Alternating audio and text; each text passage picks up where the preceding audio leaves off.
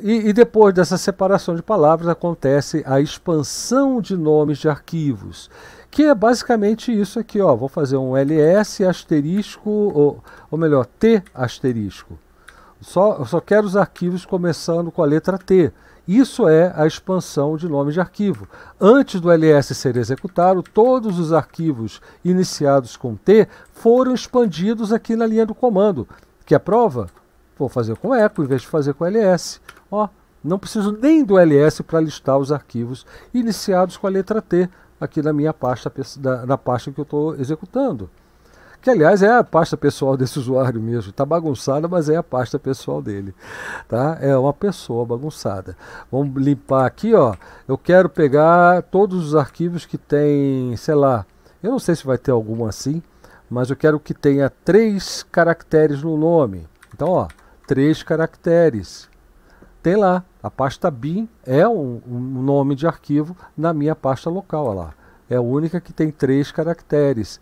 Eu quero um que tenha, sei lá, 5, 6, 7, 8 caracteres. Vamos fazer com 8 para ficar, para tirar dúvidas. Ó, 3, cadê a interrogação? 4, 5, 6, 7, 8, ó. Com 8 caracteres eu tenho teste. Tá certo? Teste.sh. Então, é, isso é a formação de nome de arquivo. É esse, esse tipo de padrão, de, é, de caracteres de, de, de, formação de padrão de nome de arquivo que a gente pode usar lá no comecinho da aula de hoje, nas cláusulas do case. Lá no comando de teste de, de avaliação de expressões assertivas, de afirmações, para comparar palavras, é, expansões com padrões é, utilizando o operador igual igual. É isso que a gente usa lá também. É válido utilizar lá também. Então, é, é, aqui acontecem as expansões de nomes de arquivos. Quando está nesse contexto aqui de uma linha de comando, a primeira coisa que vai, quando você coloca um asterisco, é a expansão de nome de arquivo. Repara que inclusive aqui o erro que deu, ó, bin, o primeiro arquivo expandido aqui nesse asterisco é o nome aqui, ó, bin, aqui em cima. E ele entrou como primeira palavra em tudo que foi expandido aqui e deu comando não encontrado. Mas o restante todo foi expandido. E a prova, de novo, né? Cadê o asterisco aqui? Home, eco, asterisco. Olha lá. Tudo isso aqui é, é, o que é expandido quando você coloca asterisco. E poderia colocar aqui, ó, por exemplo, barra etc barra asterisco. E aqui eu tenho a, lista, a listagem de tudo que está na minha pasta etc, no diretório etc. Tá? E assim por diante. É, o que eu quero dizer é que você não, é, não utiliza sozinhos esses caracteres especiais. É, aqui na minha pasta, deixa eu fazer só um asterisco de novo. Né?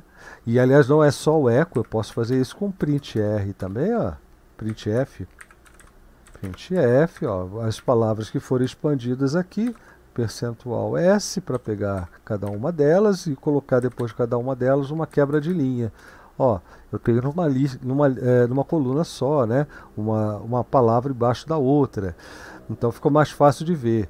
Eu quero pegar, por exemplo, a é um exemplo ruim, porque eu vou ter que usar número, mas eu quero expandir aqui no meu eco apenas os arquivos, os nomes de arquivos que comecem com teste, mas que contenham é, logo após isso os caracteres 2, 3 ou 4, tá? porque isso é uma lista de caracteres válidos, ponto .txt.